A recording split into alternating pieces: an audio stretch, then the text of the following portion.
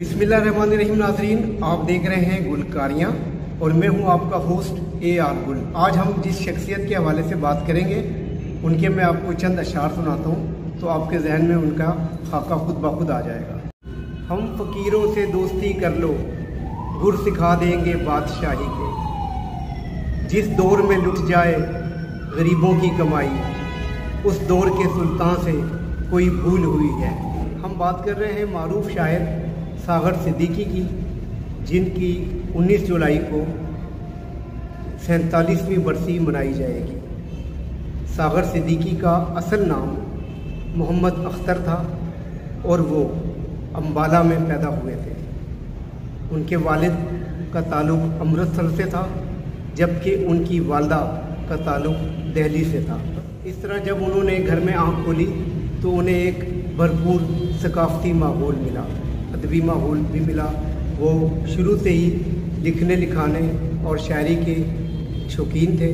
पंद्रह बरस की उम्र में ही उन्होंने अपनी शायरी का आगाज़ कर दिया था।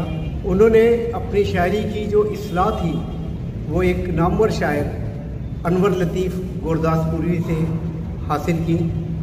उनसे कुछ सीखा और जब पाकिस्तान का क़्याम अमल में आया तो वो उन्नीस सौ सैंतालीस में लाहौर आ गए। लाहौर आकर उन्होंने सबसे पहले हकीम अहमद शुजा पाशा की फ़िल्म दो आँसू के लिए शायरी की। उनका पहला गीत इस फ़िल्म में जो शामिल हुआ, उसके बोल थे, कोई दे गया अपने निशानी, दिल दे के। ये गाना मुनवर सुल्ताना की आवाज़ में रिकॉर्ड किया गया था। उसके बाद उन्होंने पंजाबी फ़िल्म शमी के लिए भी गाने तहरीर किए। लेकिन 1955 से 1960 तक जो उन्होंने शायरी की, जो नगमा निगारी की फ़िल्मों के लिए वो बहुत ज़्यादा हिट हुई। अगर हम उस दौर का ज़िक्र करें तो अनवर कमाल पाशा की फ़िल्म सरफरोश का गाना ए चाँद उनसे जाकर मेरा सलाम कहना। और इसी फ़िल्म का एक और गाना, मेरा निशाना देखे ज़माना, तीर पे तीर चलाओ बच के ना कोई जाए।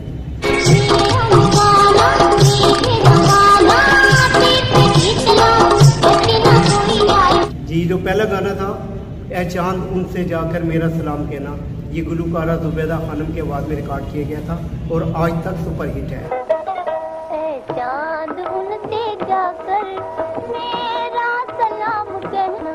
सागर सिद्दीकी ने जो इब्तदाई शायरी की उसमें उन्होंने नासिर मजाजी के नाम से खुद को मुतारफ़ करवाया। लेकिन कुछ अरसे बाद फिर नासिर मजाजी की जगह वो सागर सिद्दीकी बन गए। उन्होंने मुख्तलिफ़ अखबार और रसायन में भी काम किया और अपने अशार अपनी गज़लें भी वहाँ लिखते रहे। लेकिन बदकिस्मती से कुछ अरसे बाद उनको, उन्हें एक ऐसी सोबत मिल गई जिसमें वो नशा करने लगे और नशे की वजह से उनकी हालत अक्सर बिगड़ी रहती थी। फ़िल्म साजों ने भी इस चीज़ का भरपूर फ़ायदा उठाया और उनको मामूली पेमेंट पर उनसे जो है ना शायरी करवाई, नगमा निगारी करवाई। एक वक्त ये भी आया, उनके दोस्त बताते हैं कि वो हर किसी से सिर्फ़ चवन्नी मांगा करते गुरबत के अयाम में ऐसा दौर आया, वो अक्सर यहाँ दरबार के पास दाता साहब के जो दरबार के इर्द गिर्द पाए जाते थे और अक्सर वो आलम मदोशी में होते थे। सागर सिद्दीकी की लिखी हुई एक गज़ल हुसैन बख्श गुल्लू की आवाज़ में भी रिकॉर्ड की गई, जो बहुत मकबूल हुई। उस गज़ल के बोल थे, है दुआ याद, मगर हरफ दुआ याद नहीं। हुसैन बख्श गुल्लू की आवाज़ में ये गज़ल बहुत ज़्यादा पॉपुलर हुई। सागर सिद्दीकी 19 जुलाई उन्नीस सौ चौहत्तर को इंतकाल कर गए थे।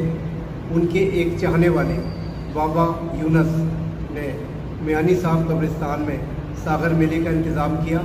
जो मुद्दतों से चला आ रहा है, अब भी उनकी बरसी पर वहाँ सागर मेले का इनका किया जाता है। सागर सिद्दीकी की अगर हम बात करें तो उनका सिर्फ़ इस एक शेर से ही ए, उनको की तक पेश किया जा सकता है जो उनका अपना लिखा हुआ शेर है।